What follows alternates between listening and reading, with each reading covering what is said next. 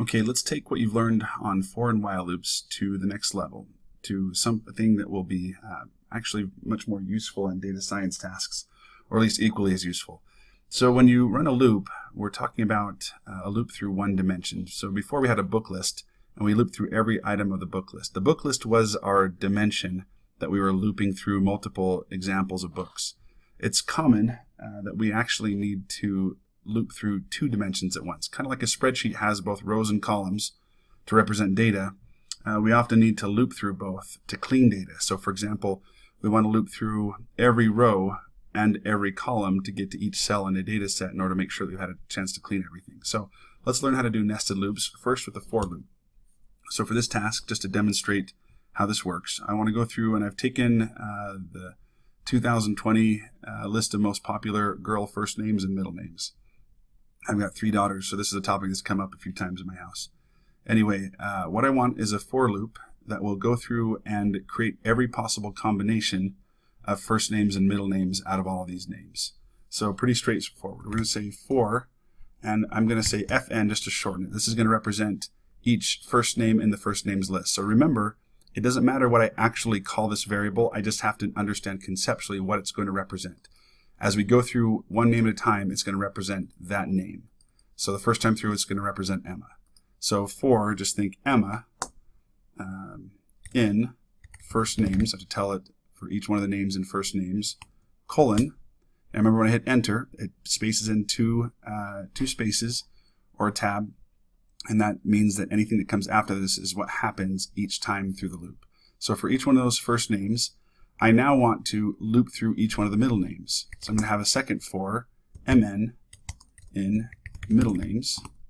Now I'm going to print out, whoops, I didn't need to do that. Now I'm going to print out uh, fn.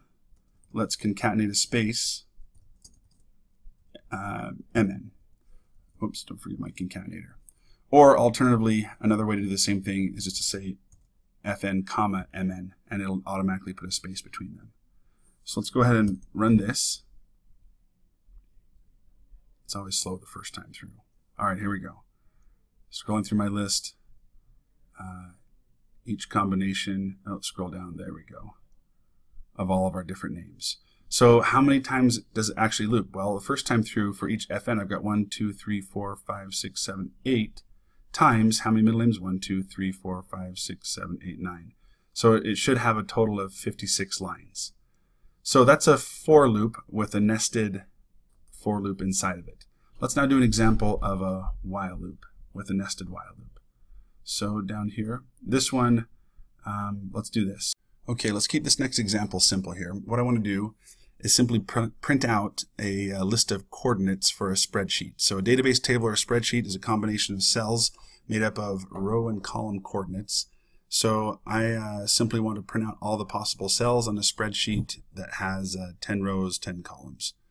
Uh, so let's use a while loop. I'm going to start with while, and we're going to create a variable. Let's first start with, uh, let's do column first. And I'm again, I'm naming this whatever I want uh, because uh, this is just a variable name. This is going to represent the number of the column. But again, I could call it this if I felt like it to represent, as long as I know that that represents a column. So I'm going to say while C is less than or equal to 10, because I've got a total of 10 columns. Um, oh, don't forget your semi your colon, so that when you hit enter, it automatically tabs it in, puts in a couple spaces. So this is the logic that's performed as long as this value right here is evaluated as true. So I better go up here first and give, I'm going to initialize z, whoops, I always do that up arrow too many times. Okay, let's create C and initialize it to zero. While I'm at it, I'm going to make my row variable initialize it to zero. Um, honestly, I didn't have to do that because right here it would have created C and given it a default value of zero, but I just want to make sure you understand conceptually what's going on. So anyway, while C is less than or equal to 10, and then I'm going to have a loop inside that. Well, no, let's do this one at a time. Let's simply print out C, and then again, like we did before, let's increment C. C equals, we're going to assign C its previous value plus 1. So when we run that, it goes, prints out 10. Um, after it prints out 10, it adds 1, it becomes 11. This uh, comparison operator gets evaluated as false. Therefore, it skips this and moves on.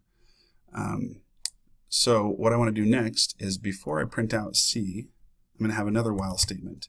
while r is less than or equal to 10. And now I'm going to tab in this print c. And I'm going to change it to, uh, let's print out something more like this so it looks like a coordinate point. I'm going to put in a, a parenthesis. We're going to, I don't want a space, so what I'm going to do is say concatenate c instead of comma c. And then let's concatenate onto that a comma with a space after it. And then I'm going to put in r to represent the row, then concatenate a closing parenthesis onto it. So it's going to look like a coordinate point. So when I'm done, this is going to be an infinite loop if I don't also increment r and say r equals r plus 1. So what's going to happen, it's going to go in here and say, all right, c is not less than 10, true, so go inside. It immediately sees another loop. Another loop. r is still less than 10, it's true, so it's going to go inside here. Now it's going to print out c, which is initially 0, and then r, which is 0. So actually, maybe I want to initialize these to 1 each, because there's no such thing as cell 0, 0. There's cell 1, 1. All right, so it's going to print out 1, comma 1. It's going to then add 1 to r, and it's not going to go to the c next, remember, because it's still in this inner while loop. It finishes this, it sees the next line is two spaces back, which is part of the previous loop. So after this line, it's going to go right back to this while statement again and say, okay, is r still less than 10? Yep, it's 2 after running this loop one time. So since it's still less than 10, it'll go back in here again and it'll print out c, which is 1 comma 2 this time, add 1, then 1 comma 3, 1 comma 4. And eventually after 10 times, it's going to, r is going to be 10 and it's going to say is r less than or equal to 10, or sorry, it's going to get to 11. Then this will be evaluated as false. Then it'll skip these two lines and go straight to this line and say add 1 to c and go back to the outer loop.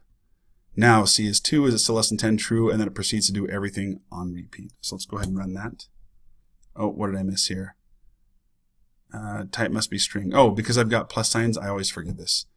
Uh, it thinks I'm trying to add these numbers, which are integers, to a parenthesis. You can't add a parenthesis to a number. It doesn't get that this is string concatenation. I have to formally put str around it, right there, and then also right here. I'm going to leave this error in the video so you guys can see my thought process and the error and the fix. All right, there we go. There's our coordinate points. Um, so why did it stop here at 10? I'm actually going to leave this um, little error in the video too and show you my fix. Here's why. So we got um, through this inner loop, we printed out 1 comma 10. We did add 1 to C, and we got back to here and it says, is C still less than 10? Yes, it is. It's 2. So we went into the inner loop and said, while R is less than or equal to 10. Well, the problem now is that R in the previous loop already got to 10. And so it says, well, R, uh, sorry, got to 11. R is not less than or equal to 10, so it skips this and went back and added one to C, and it's never getting back into this print line again. What that means is I need to reset and change uh, uh, R back to 1 each time. Every time I go through this inner loop and I'm done, I've got to go back and reset R to 1. I can do that either here or I could do it um, after the C plus 1. It wouldn't matter either way. But I have to tab it or, or bring it back here to line up with the C so that it knows this is not happening on the inside. Otherwise, it'll create an infinite loop. So now when I run this, what happens is I get to this line right here, which means it uh, has finished with this inner loop. This gets evaluated as false. It skips down, resets R to 1 again, then adds 1 to C, which is why we got 2 and 1 now. This is where R got changed to 1. This is where C got changed to 2. Went back to the outer loop and proceeded to redo everything again and again as we loop through. Okay, so this is nested loops. Fairly complicated. However, uh, it's going to be worth it. We'll use these a lot. And I'll stop here on this video for now, but we'll go through some practice examples later on where we can use these in practical contexts.